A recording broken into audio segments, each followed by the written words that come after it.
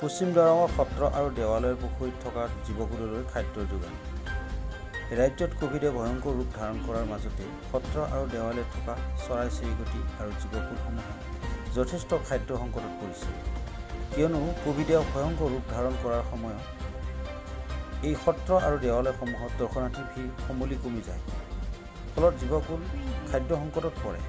এনে সময়তে দৰং জিলা দূৰদৰ্শী স্বেচ্ছাসেৱী অনুষ্ঠান মানুহে মানুহৰ বাবে unity with the blood donors কৰোণাধাৰা সহায়ক সমিতি সদস্যসকলে খাদ্য সামগ্ৰী লৈ পাঁচ জুন তাৰিখে পশ্চিম দৰং পদ্মথান দেৱালয় আৰু খটৰাহাটত উপস্থিত হয়। নৰ্থ ইষ্ট লাইভ টুডে নামফল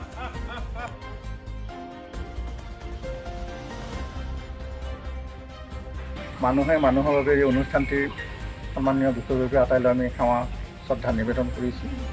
আপোনাৰভাৱে এই বৰ্তমান সময়ত এই আহুকালৰ সময়ত মানুহৰ লগতে জীৱকুলৰ পৰিত্ৰাণৰ কাৰণে যি খাদ্য আগতেও হেনো দি গৈছে আমি সুখ পাইছোঁ। কাৰণ আমাৰ দৰ্শনাৰ্থীবিলাকে দি থাকে। আকৌ দৰ্শনাৰ্থী বন্ধ হৈছে এতিয়া। তাৰ মাজতে আপোনাৰভাৱে যে এই কথাখিনি কৰি আছে আৰু ভাল লাগিছে এইকাৰণে। দৰঙৰ গোটেইখিনি শক্তিবান ইউথখিনি আহিছে। জিলাখনক আগুৱাই নিয়া সাহিত্য সংস্কৃতি আটাইখিনিতে আপোনালোক জড়িত। আমি আটাইলৈ আমি আমাৰ সত্ৰৰ তৰফৰ পৰা সেৱা শুভেচ্ছা জ্ঞাপন কৰিছোঁ।